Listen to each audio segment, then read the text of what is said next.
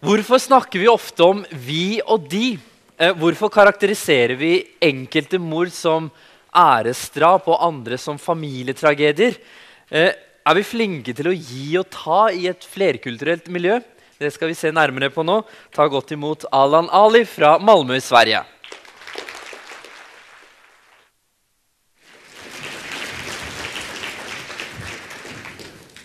Tack så mycket. Hej allihopa. Trevligt att se så många kvar när det är så här sent på en fredag. Jag var liksom orolig när, när de bokade upp mig här. Då sa jag så här att inte på fredagen liksom.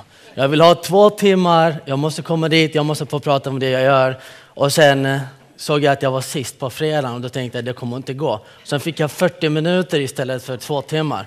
Så då tänkte jag så här, är det här diskriminering mot invandrare eller? Så, men eh, sen eh, Henning övertalade mig att nej men norrmännen eh, de är liksom skötsamma, de är så här gedigna, lojala, stannar kvar och så här. Då tänkte jag okej, okay, då får jag väl också vara lite lojal. Sen vet jag inte hur maten var för er. Den maten jag åt igår på festen, jag blev lite dålig så jag har legat på hotellrummet hela morgonen. Men vi får se. Det bara, även det kanske beror på min invandrarmage. Liksom. Jag har inte hunnit akklimatisera mig från Sverige till Norge. För det är det som är grejen när är här då, de frågar var kommer du ifrån? Så säger jag Sverige. Och så säger de varifrån Sverige? Malmö. Och sen, men varifrån från början? För du ser inte svensk ut. Och det i sig också är en intressant fråga. Eh, vad är svenskhet? Jag tror att svenskhet och vad som är norsk, så här, det är, vi måste ändra på det. För idag lever vi i en ny värld, en ny Sverige, en ny Norge och sådär. Och för att kunna göra det så måste vi ha kunskap om varandra. Jag kommer då från Elektra Fryshuset i Malmö. Jag är verksamhetsansvarig för organisationen Elektra där vi jobbar alltså främst med förebyggande arbete kring det som kallas för våld och förtryck i hedersnamn.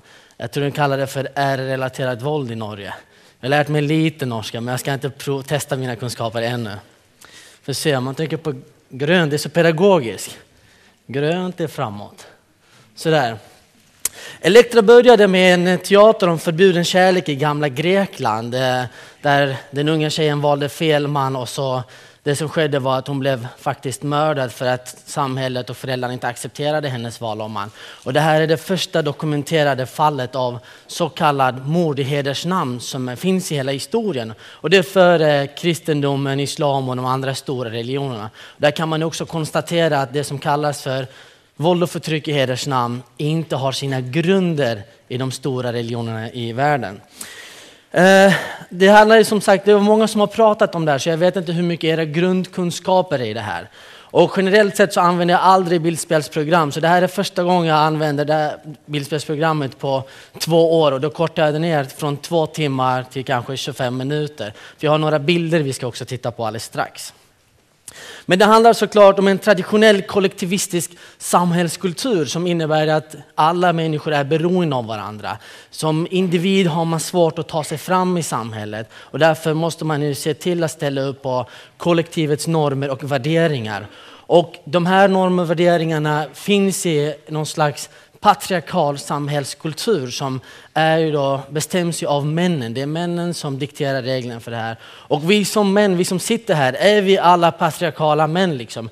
Är, alltså bara för att vi är män ska vi då bestämma över våra familjer? Vem väljer åt oss? Är det vi själva som väljer det eller blir vi påtvingade de här rollerna? Det är också något som jag kommer att prata lite närmare kring om en liten stund.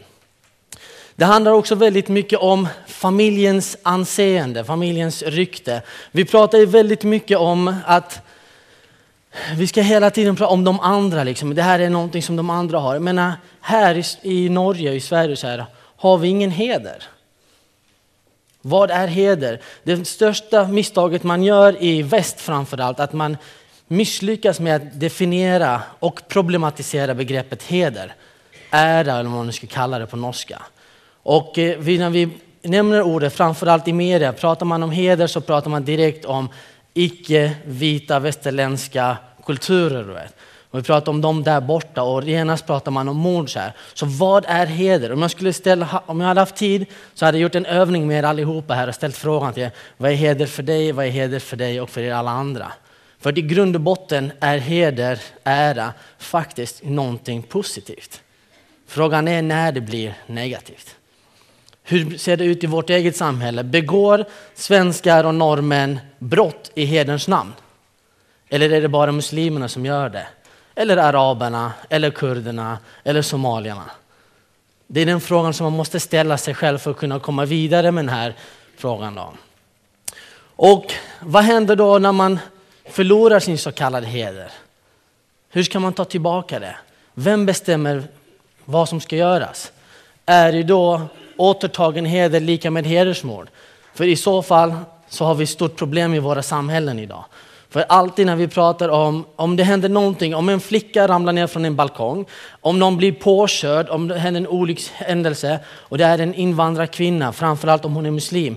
Genast i pressen, i Sverige är det så, då skriver man hedersmord och sen frågetecken. Så man har redan titulerat det som hedersmord. Men utredningen är inte klar, man vet ju ingenting. Och sen i slutänden, när det kommer till kritan och man går igenom allting, så kanske det inte var ett hedersmord eller ett mord i hedersnamn. Men det kommer aldrig fram i pressen. Kanske en liten notis. Men vad man gör också, alltså man etnifierar och kulturaliserar det här fenomenet på ett stigmatiserande sätt som gör att vi som arbetar ute i samhället, vi blir förblindade. Liksom.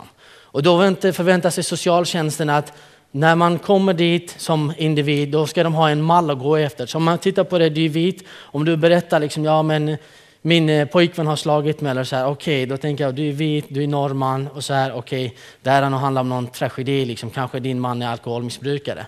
Men om Fatima kommer så här, och då har jag en mall, okej, okay, Fatima, slöja, muslim, du är liksom drabbad av R-relaterat våld liksom.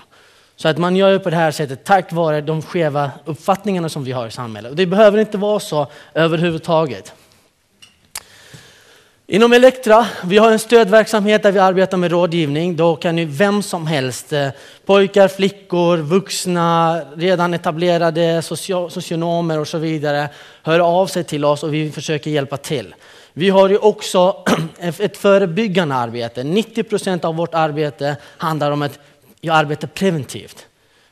För att idag vet vi så här, de flesta, det är, alltså, att det finns våld mot kvinnor är ingenting nytt. Liksom. Det har vi vetat i många år. Innan det så kallade hedersrelaterade våldet kom till Nord, det som vi idag ser som hedersrelaterat till eh, Nordeuropa, hade vi inte mäns våld mot kvinnor då. Så att det finns ju massor med organisationer som redan arbetar med utsatta kvinnor. Men problemet är, det som i väst har varit, det är att man har haft en akutmottagning Folk kommer till kvinnojouren, berättar att man har fått problem. Vad gör man? Man flyttar ut dem, sätter dem i ett skyddat boende. Så att man kommer dit, man får plåster till nästa sjukhus. Så att det fungerar som en akutmottagning. Men man arbetar väldigt sällan förebyggande. Vad vi gjorde inom Elektra var att vi försöker göra tvärtom, tvärt emot. Vi försöker arbeta attitydförändrande så att vi skapar det nya samhället genom att utbilda våra ungdomar. Och sharaf hjältar, sharaf är det arabiska ordet för heder. Anledningen till att vi har valt att använda det ordet är för att väldigt många känner igen det ordet, även om man inte är arabisktalande. Så sharaf, heder, hjältar, heroes, vilket betyder att det är hedervärt att arbeta med mänskliga rättigheter och demokrati. Att arbeta för sina rättigheter, för sina medmänniskors rättigheter, det är, man gör det med hjältemod. Och vi arbetar inte bara med killar, vi arbetar också med flickor. För det är också väldigt viktigt att vi även ger tjejer, flickor, jenter tror jag ni säger på norska, att de ska få rätt verktyg för att de ska klara sig själva. Vi får aldrig glömma att okej, okay, de patriarkala strukturerna bestäms väldigt mycket av männen. Men vem reproducerar dem? Kvinnor är med och delaktiga i att reproducera patriarkala normer och värderingar. Kvinnoförnedrande, kvinnobegränsade värderingar finns och roras framförallt bland flickor och mammor. Det är mammorna, det är flickorna. De får en kontinuitet i det här. Så därför är det också viktigt att vi inte bara jobbar med killarna så att de är förövarna, vi ska ändra på dem.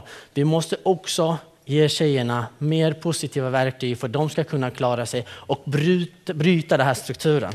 Nu vet jag inte om ni förstår min svenska? Ja, bra. Det var någon som sa igår att jag borde prata engelska.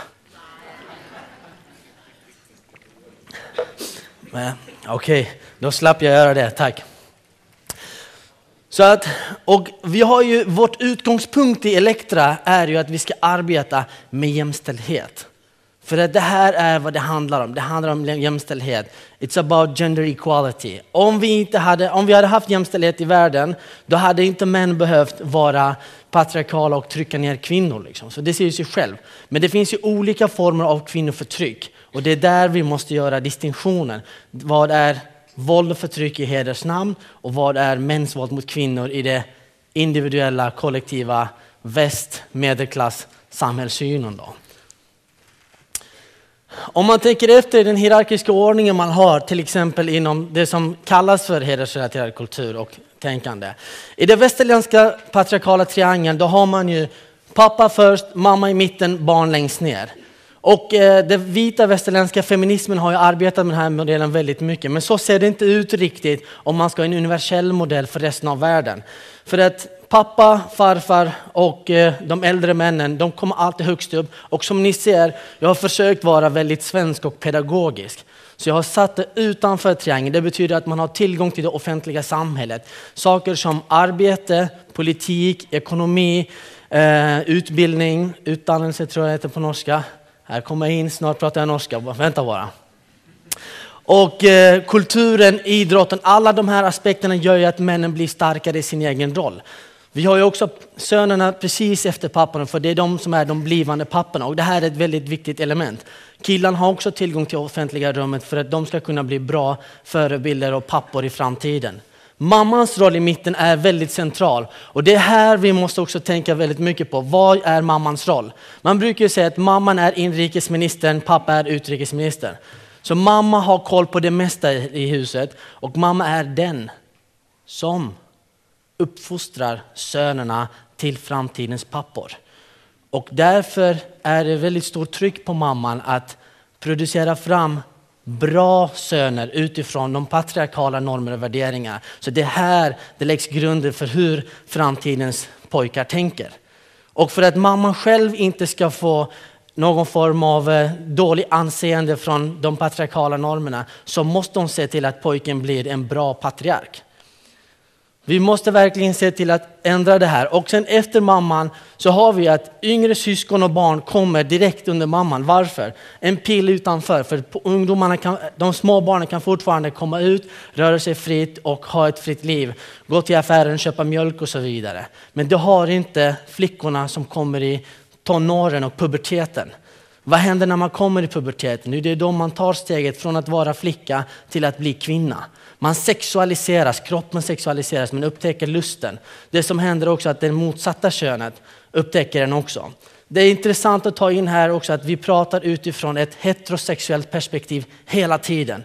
Vi har på många sätt lyckats glömma bort homo, bi och transpersoner. Vi pratar inte utifrån ett mångsexuellt, alltså perspektiv, utan vi pratar bara utifrån heterosexuellt perspektiv. Och det här säger också en hel del om det patriarkala tänkandet, för det här handlar om att bevara heterosexualiteten, bevara mäns överordning över kvinnor och kontrollen av kvinnans sexualitet. För vad händer om en tonårsflicka kommer ut och träffar en pojke? Jo, då kan de ju bli sexuellt involverade. Och det är då snacket ute i samhället börjar. Det är då ryktespridningarna börjar och familjens anseende, deras rykte förstörs och då måste man ta tillbaka det. Så det är det här man säger liksom att individens lycka om att skaffa sig kärlek, det blir ju då familjens olycka. Och vem är det som bestämmer det? Jo, det är vi här, det är samhället som bestämmer det. Så därför är det viktigt att arbeta förebyggande med hela samhället och det tänket vi har i samhället. Då. Och mammorna är ju också de som uppfostrar flickorna till att vara skötsamma flickor. För vad händer om en flicka inte är skötsam? Då får ju mamman skulden för det. För då kan ju då resten av samhället, framförallt kärnfamiljen, pappa och de säger så här, jag är ute och arbetar och tjänar pengar för att du ska ha det bra. Det enda du ska göra det är att uppfostra barnen, du klarar inte av det. Alla som har barn här inne eller jobbat med barn vet att det är inte världens enklaste sak att uppfostra barn. Det är det också som feminismen skriker efter. Det obetalda kvinnoarbetet i hemmet, att uppfostra barn, städa och så vidare. Det har inte uppskattats och det lyfts inte i samhället.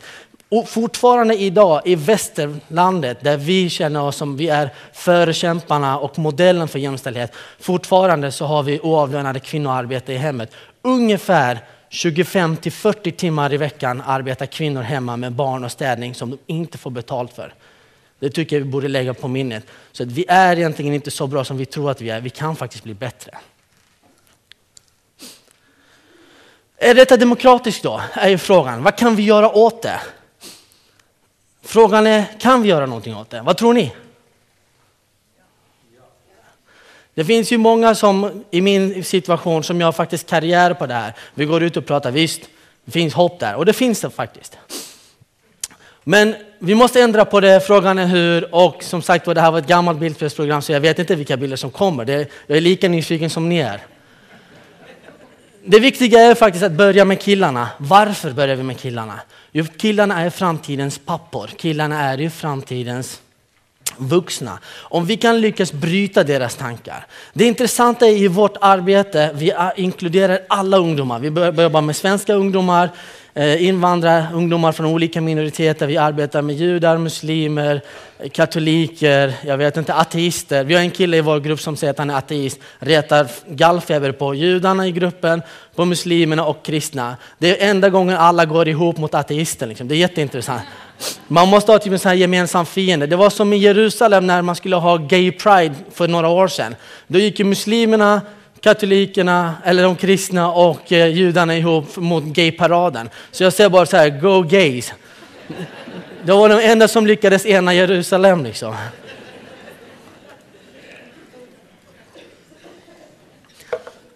Eller ateister i vårt fall då. De lyckades ena våra ungdomar.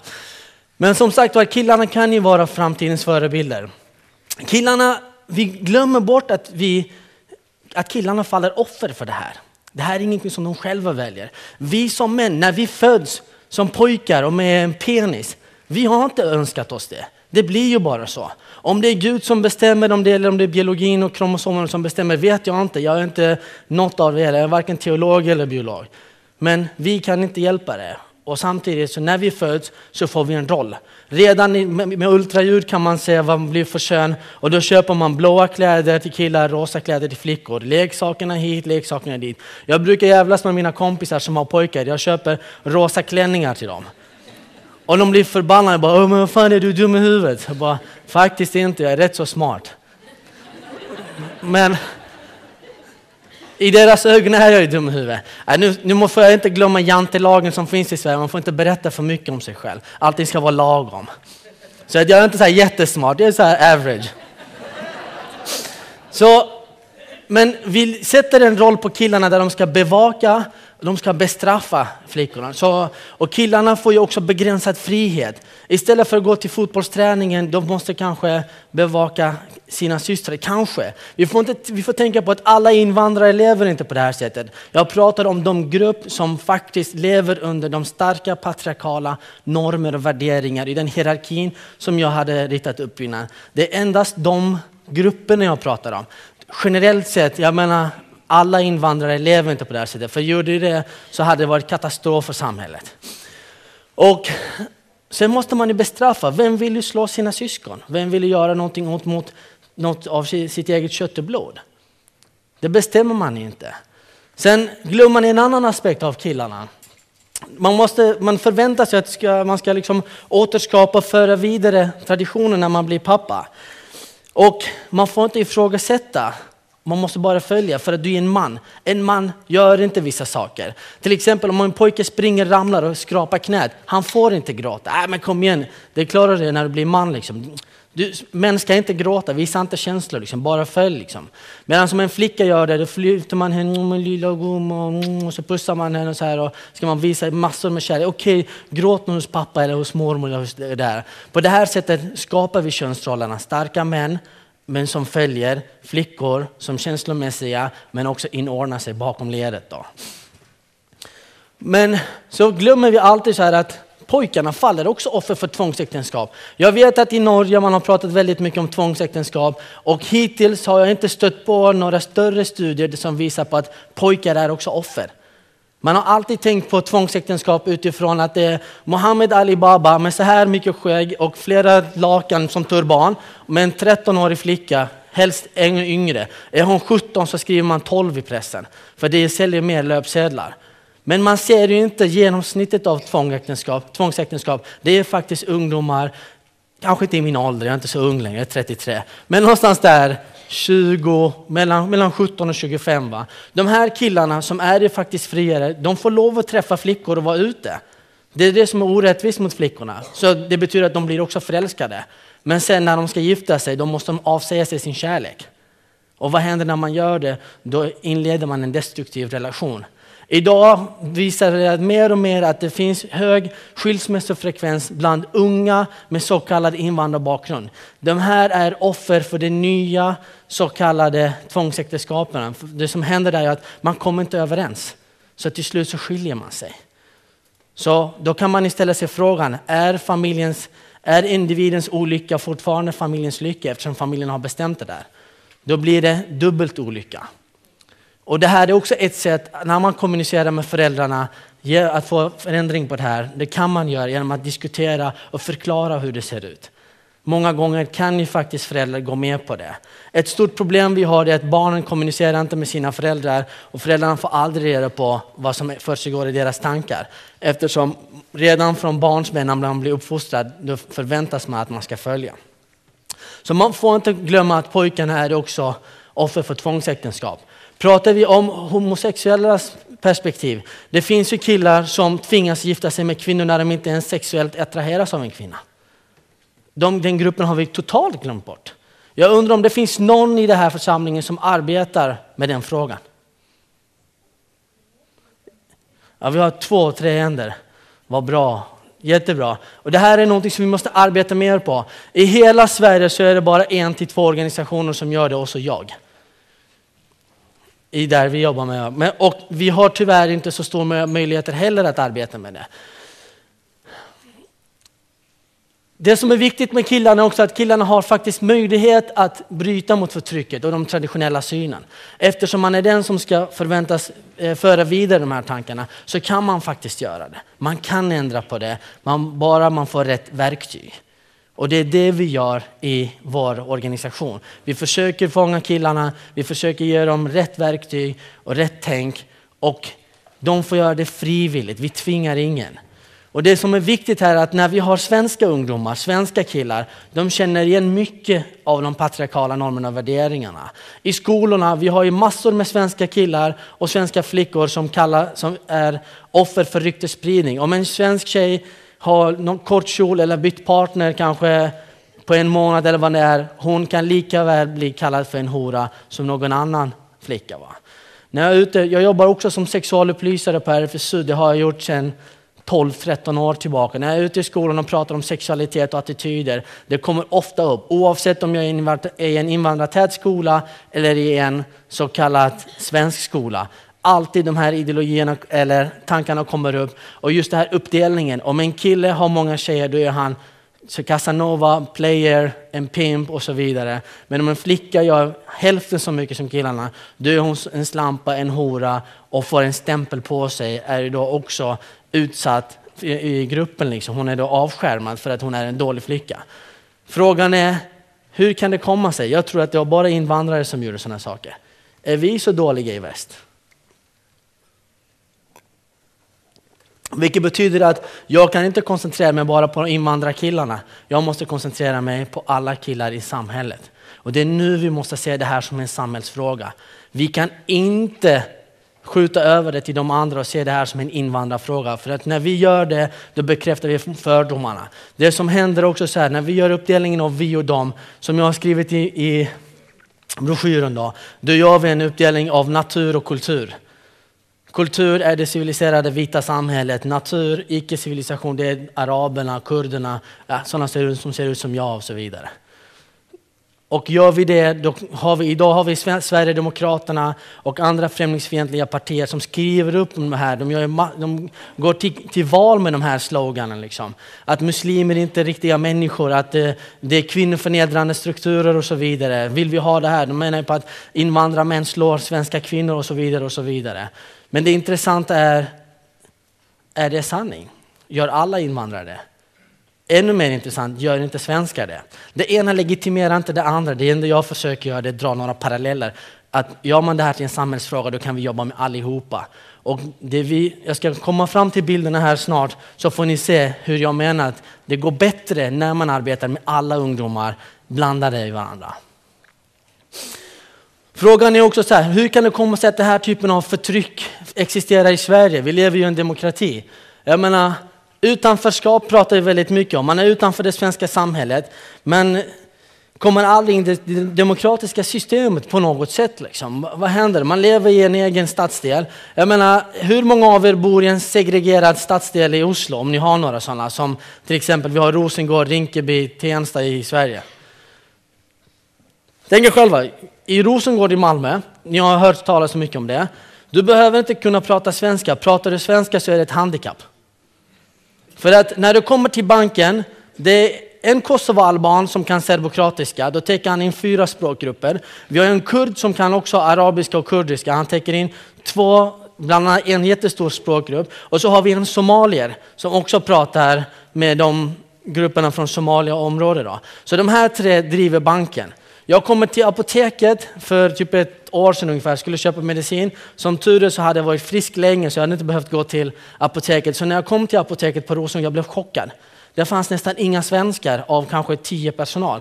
Hon som expedierade mig var svensk. Jag frågade henne, vad är svenskarna? Vet ni vad hon sa? Vi är en utdöende ras.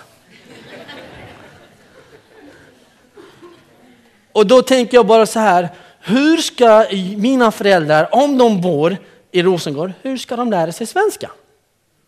Hur ska de veta hur det är i Sverige? Man tittar på Big Brother, man tittar på löpsedlarna, de här grejerna, då ser man ju att det är jättemycket, alltså det offentliga rummet är så pass sexualiserat så det är inte sant liksom.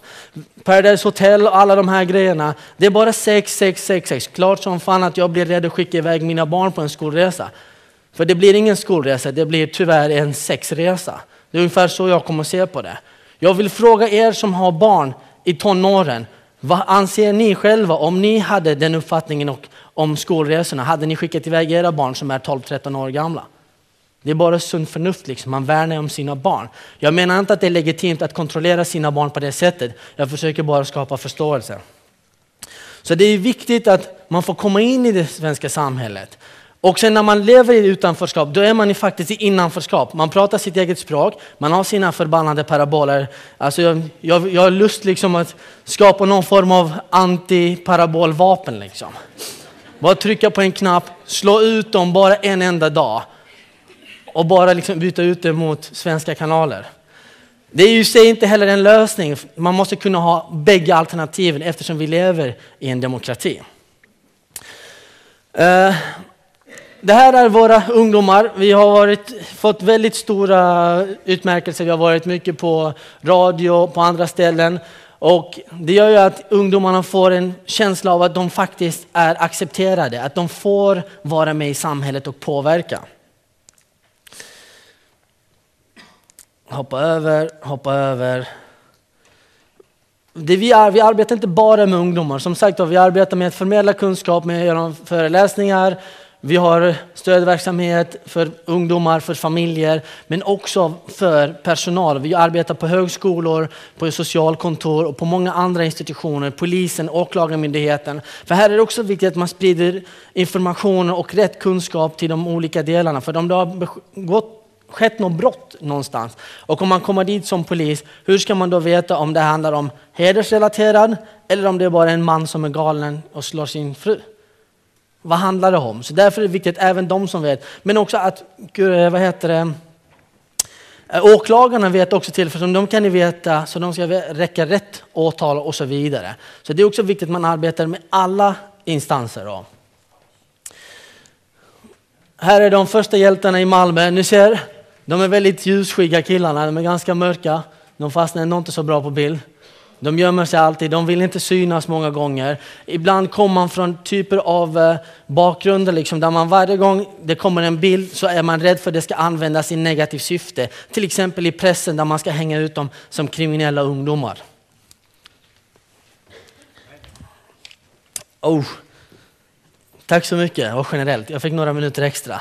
J Norge!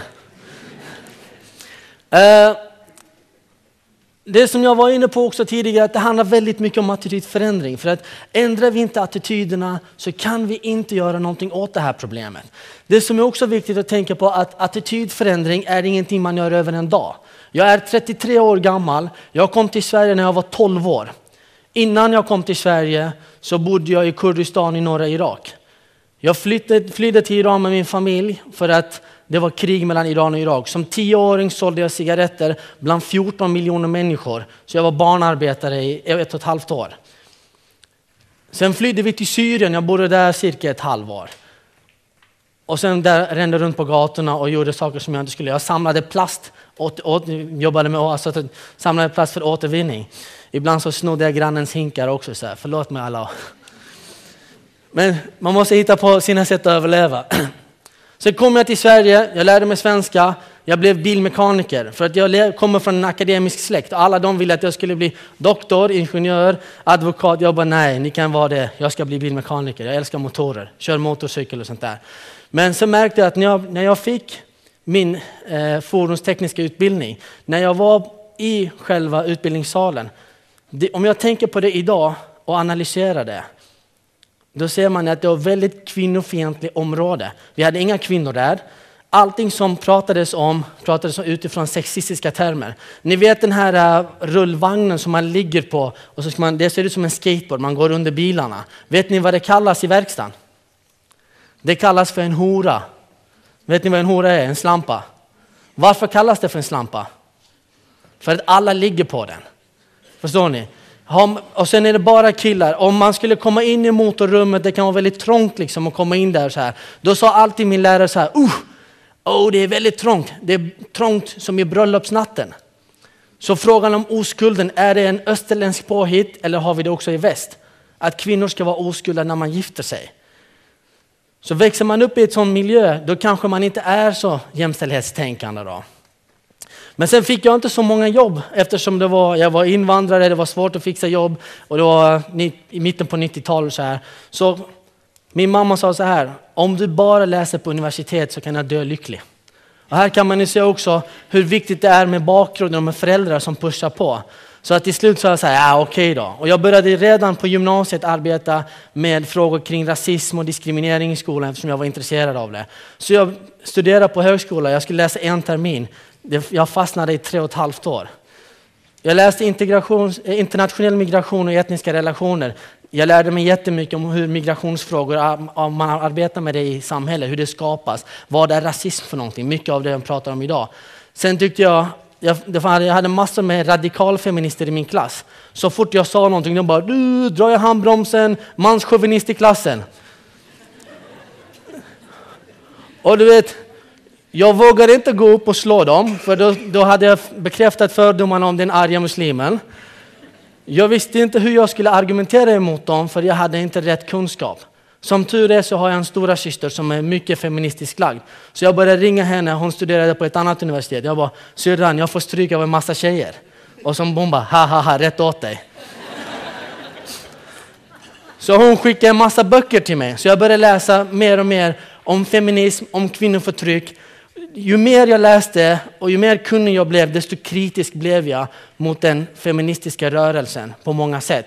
Men samtidigt uppskattade jag den, för det fick mig att öppna mina ögon. Det fick mig att lära mig att ändra mina attityder. Min far har aldrig gjort skillnad på mig och min syster. Allt det hon har fått göra har jag fått göra. Allt hon inte har fått göra har jag inte heller fått göra.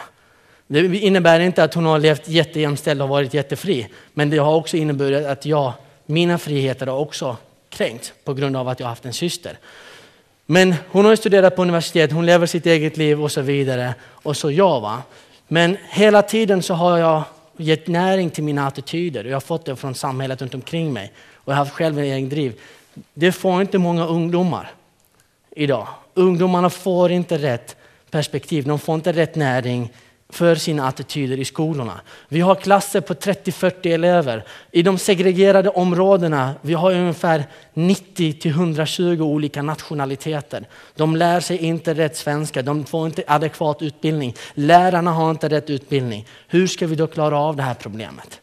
Om inte vi gör det här till en samhällsfråga. Samhället måste vakna och ändra på socionomutbildningen, på lärarutbildningen, på fritidsutbildning, alltså fritidsledarutbildningen, socionom. Alla de här utbildningarna måste revideras, kompletteras med nya inslag om det nya samhället. Gör vi inte det så kommer vi ha en stor så kallad ny underklass i form av invandrare, vilket har skapats idag.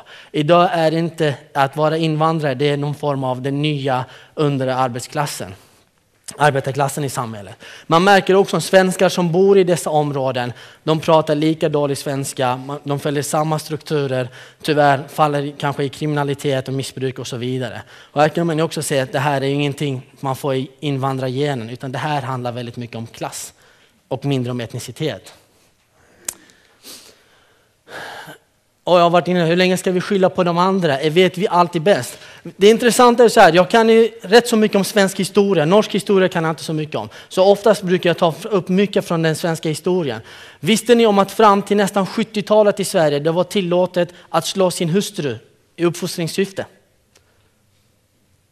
Det var inte ens förrän på 80-talet man började enligt praxis ta upp liksom i, i lagen, ta upp kvinnovåld, mäns våld mot kvinnor. Men fortfarande fram till 90-talet kunde kvinnorna ta tillbaka anmälan eftersom de levde i samboförhållanden. Det var inte förrän på mitten på 90-talet, den svenska, stora svenska kvinnofridsutredningen kom, då man la om lagarna för att kunna skydda kvinnan. Så att kvinnor är inte längre målsägande i ett våldsutsatt fall, utan det är samhället som tar kvinnans parti. Hon kan inte ta tillbaka anmälan. Så att fram till mitten på 90-talet har vi haft, idag 2010, om en tjej blir utsatt för våldtäkt, vad gör man? Man tittar på vilka kläder hon hade på sig, vilken tid på dygnet det var, andelen alkoholkonsumtion, eh, kontexten, om det var på krogen eller hemma, hennes tidigare sexualvanor och så vidare. Alla de här grejerna tar man upp. Så hon som offer måste bevisa att hon är oskyldig och att hon inte framkallade våldtäkten. Så vi är inte så bra som vi tror att vi är. Vad vi gör, vi skapar telefonlinjer som kvinnor kan ringa här när de är hem, på väg hem sent på natten. Så man ringer någon och pratar med, jag vet inte var någonstans, bara, kanske i Indien för det är billigt liksom, med telefonsupport. Så man ringer dit och pratar bla bla bla, men vad händer? Man säger till tjejer, gå inte vid mörka gränder, gå inte vid, sent på natten vid en park och så vidare. Jaha, så hela tiden vi begränsar kvinnorna för att skydda dem. Det är inte kvinnorna det är fel på, det är samhället, det är attityderna. Kvinnor ska kunna vara fria var de än vill gå, hur de än vill gå. Vill de gå med minikjolar eller om de vill ta på sig ett helt tält, det ska inte spela någon roll. De ska känna sig trygga och gå var de vill. Det är dit vi måste komma. Det är därför vi måste arbeta med jämställdhet. Skulle jag kunna få byta till de andra bilderna? Tack. Så, det här är våra ungdomar. Många av de här killarna har aldrig klarat av sin skolgång. Några av de här killarna i mitten, när de kom till oss, de som sagt hade inte liksom, kunde inte klara av något projekt på något sätt. Jag betalar inte de här killarna, utan jag ser dem. Det enda jag gör, jag använder rätt metod för att kunna ge dem bekräftelse.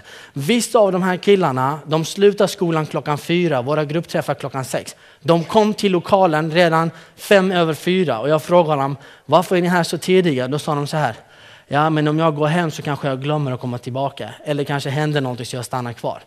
Och för att jag är jättehård med reglerna, de får inte missa träffarna och missa tiden och så vidare. Så att jag ställer krav, men de går med på det. Så det är ingen fel på killarnas inordning i, eh, underordning i hierarkier. Liksom. De kommer dit, men man måste arbeta med dem på rätt sätt. Vi har en kille här, han är universitetsstudent och jätte, jätteintelligent. Vi har flera killar som är duktiga och har aldrig haft några problem varken med lagen eller med sin kvinnosyn. De här killarna är med i grupperna. Så det är också viktigt att man inte bara letar efter destruktiva killar utan man måste skapa en gruppdynamik med en blandning så att killarna kan lära sig av varandra och få rätt ledning av en ledare. Här är när våra ungdomar har fått eh, diplom. Den här bilden kanske är lite missvisande. En stor, lång svensk en afrikansk kvinna i mitten och en arabisk flicka längst bort. Liksom. Så det är en så här hierarki, men så är det inte. Emil är en svensk kille som är sharafhjälte hos oss. Han berörs ju lika mycket av de negativa strukturerna i samhället och de patriarkala strukturerna så som tjejerna blir idag. Och hon i mitten är idag eh, jämställdhetsminister i Sverige som har gett diplom till ungdomarna för att de har eh, är klara med sin utbildning. Och bägge de här har också hållit tal vid en stor ceremoni. Det vi arbetar också med är att ge ungdomarna teambildning. Vi hjälper dem, vi tar dem ut i naturen. De ska få komma bort till någonting mer positivt istället för att bara sitta i en lokal. Och här är jättekul, man får jobba med pussel och här har vi svenska elever och invandrarelever som verkligen får samarbeta. Och många av de här ungdomarna de går i samma skola men de möts inte. Utan svenskarna sitter på ett ställe, invandrarna sitter på ett ställe och så är det, och så är det sen uppdelat. Liksom. Och det är där vi och de skapas. Vi försöker ändra på det här. Så att genom att arbeta med jämställdhet så jobbar vi också med integration och kunskap om varandra. Så att man har ju så många saker att vinna på ett sånt här, en sån här verksamhet. Här gäller det att försöka se till att få dem att samarbeta ännu mer. Och så, ja, ni ser hur det går till. Och så när de är klara så är alla jätteglada. Det tog 17 försök till de blev klara med den här övningen. Så jag förstår att de är glada. Återigen, lita på varandra med ögonbindel, gå in i en labyrint. Och här kan man också se vilka som har ledaregenskaperna. Här kan man också bryta hierarkin i grupper, för det kan finnas ungdomar som har väldigt eh, auktoritär roll. Liksom. Så att vi bryter de, de där eh, hierarkierna så att alla kan vara på ett led. Här är jag jättetrött på dem. Vi är i Stockholm och de har kameran. De har tagit kanske 200 bilder av mig för de tycker att det är roligt att sen skratta åt mig. Vad ska jag göra? Jag börjar bli gammal. Här är vi ute och äter. Och det är också en intressant grej. Vi åker runt i olika delar av Sverige. Många av de här ungdomarna har aldrig varit utanför Malmös gränser. Vi kör ett, jag vet inte hur ni kan, Halland, det ligger typ ungefär, eh, låt säga 80-100 kilometer från Malmö. Och det finns en backe där, det följer längs med kusten mot Göteborg. Så vi åker upp för backen, så har jag en minibuss med 10 killar i, så säger en av killarna så här, Här lite det är sant som de säger. Ja, vadå, sa jag. I Norrland finns det mycket skog och berg. Och det är en liten kulle, jag vet inte om det är typ kanske 400 meter hög. Och den här killen är 17 år, är född i Sverige. Är det inte tragiskt? Fler samarbetsövningar och det jag kommer komma till strax, det är förebilder. Vi behöver ha nya förebilder i Sverige. Vi behöver ha fler killar som Zlatan inom fotbollen, men också andra killar i andra delar, så att de kan känna sig delaktiga, att de känns som en del av samhället. Vårt problem är i Sverige att vi lyfter inte de positiva unga killarna, utan eh, invandrarkillarna menar jag. Zlatan, så fort han gör ett mål, då är han supersvensken. Så fort han är så här, den bäst betalda fotbollsspelaren i världen, svensken. Men så fort han gör någonting negativt, då är det hans aggressiva attityder och uppfostran från dels Bosnien, men dels också från Rosengård. Så så fort han gör någonting negativt, då är han en del av dem. Så fort han gör någonting bra, då är han en del av oss.